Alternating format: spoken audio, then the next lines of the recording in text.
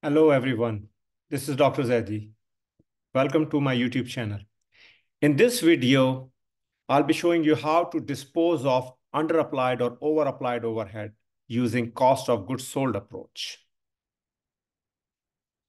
So first, you need to know that there are three methods to dispose of um, overapplied or underapplied overhead. Uh, there is adjusted allocation rate approach, there is a proration approach, and then write-off to cost of goods sold approach. Adjusted allocation rate approach and proration approach are discussed in separate videos. Uh, so in this particular video, I'm going to discuss how to dispose of underapplied or overapplied overhead using a write-off to cost of goods sold approach. Okay, so here is some data that I provided you. Now, if you wanted to know how I get these uh, the actual balances in MOH account or the applied balances, there is another video that I have recorded um, that provides you journal entries and everything um, regarding the um, underapplied and overapplied uh, overhead or uh, MH, M MOH actual and applied.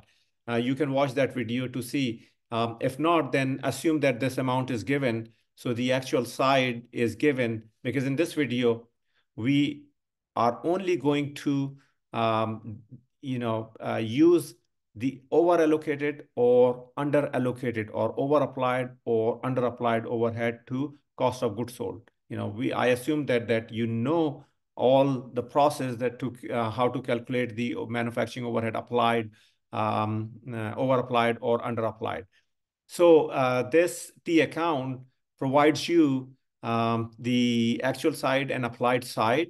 Uh, the actual side shows that that that you have a, a $115,000 um, of the actual amount that you incur during the period, and applied side shows 110,000 you applied during the period, uh, which gives you a debit balance when you subtract 110 from 115,000 gives you $5,000 of debit balance, and debit balances means that you underapplied the overhead. When you underapply overhead, you basically understate cost of goods sold and you overstate operating income. Again, there, uh, that is also discussed in another video. Uh, you can watch that. Okay, here I'm showing you cost of goods sold T account. Okay, and I'm assuming that the in you know the corporation um, the cost of goods sold amounted to hundred um, amounted to eighty thousand dollar for the current year. Here is the income statement example is given. Uh, the data has been thrown here, um, and just uh, using the assumption that the sales was 300,000. And, and this side right here, it shows before dispose of. DO is dispose of, before disposing of. And this side will show once we calculate, um, you know, how to dispose of, once we dispose of cost to um, the underapplied or overapplied overhead to cost of goods sold. And this side will show how uh, the amount after disposing of. All right. So uh, 300,000 is provided um, is uh, the assumption. Cost of goods sold information is coming from the T account, $80,000. When you subtract that, you get 220,000 for gross profit. All right.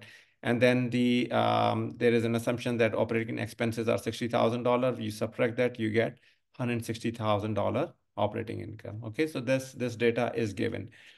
Now, because you have a debit balance in MOH account, which means that you underapplied and underapplied by $5,000. That means your cost of goods sold would be understated by $5,000 and your operating income would be overstated. So that amount you have here, $80,000, is, is an understatement of your cost of goods sold and 160,000 is, is the overstatement. Okay, so how do you fix that?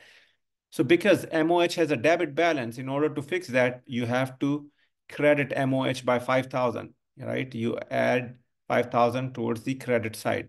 So you credit MOH by 5,000, okay? So when you have a, uh, when you have a journal entries, because we follow double entry in, uh, accounting system, right? The amount which is credited, you know, the same amount needs to be debited. Or if the amount is debited, the same amount needs to be credited.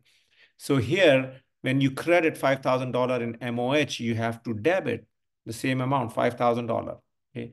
Because we are using um, disposing off to cost of goods sold approach, we have to debit cost of goods sold by that amount.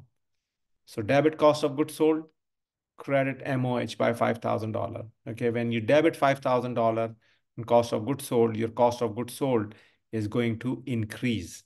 by that amount, 5,000. You need to add 5,000 here. So when you add them together, this will give you $85,000 in cost of goods sold. So look at here, you had $80,000 previously, and now you have $85,000, okay? So after disposing of, the cost of goods sold balance increased because you underapplied uh, manufacturing overhead. So after disposing of, now if you look at the figure on the income statement, um, you still have same sales, 300,000, but your cost of goods sold amount increased by $5,000, making it $285,000, which is going to cause a decrease in your gross profit, right? By the same amount, right? $5,000 if cost increased, your gross profit is going to decrease by the same amount, okay? Assuming operating income stays the same, your operating income is going to decrease. Remember that, that your operating income was overstated.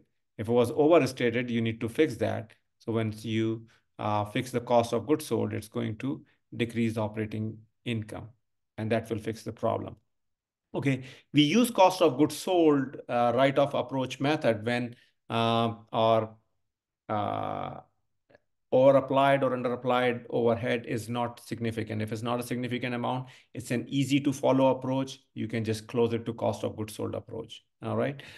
Now I'll give you another example when uh, in which um, you're you have over applied overhead. In this case, you have under applied uh, your MOH. Now in the next one, you're going to see that you have over applied overhead. So in this example, uh, you see here that you have applied 125,000, you actually incurred 115,000, which mean that you over applied by 10,000. 125 minus 115 is 10,000. You over applied by 10,000. So when you over apply, right, or you have a credit balance now in this case, then you're over you overstate cost of goods sold and you understate operating income, right? Remember, I go back to the previous slide. What happened here? When you underapplied, you understated cost of goods sold and you overstated operating income. Here, when you overapplied, you overstated cost of goods sold and you understated operating income. Totally opposite. Okay. So how do you fix that? Okay. So if you look at here, because you overapplied, you have more in credit balance in MOH. So in order to fix that, you have to debit MOH by 10,000.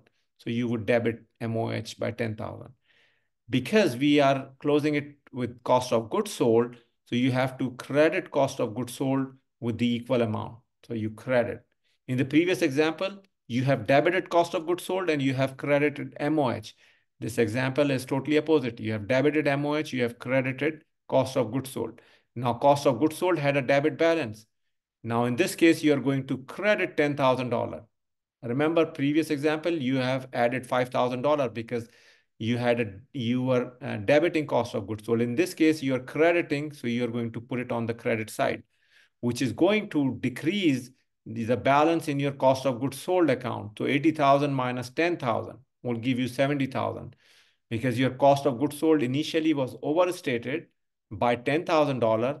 So you are subtracting that amount and it will fix your cost of goods sold problem. All right. Now, income statement is provided. This is for before and disposing of, right? 300,000 is your sales, 80,000 your cost of goods sold, gives you gross profit 220,000, operating expenses 60,000, 160,000, okay? After disposing of, now what happens? That sales is same. Now your cost of goods sold has declined, has dropped to 70,000, okay? So it has reduced by 10,000 because you have uh, initially overstated your cost of goods sold by that 10 by amount 10,000 okay? So now you have to subtract that 10,000 so this gives you 70,000 so once you subtract that now your gross profit is fixed right? 220,000 before now it's 230,000 assuming operating expenses stay same your operating income will increase by the amount of your over applied overhead so 170,000 because it was understated before now you fix the problem and it reflects you the, the, the, uh, the correct amount of the operating income as well as the cost of goods sold. I hope you enjoyed this video and it helped you. Uh, thank you for watching my video. Um, if you like to see live updates, um, you may want to subscribe my channel.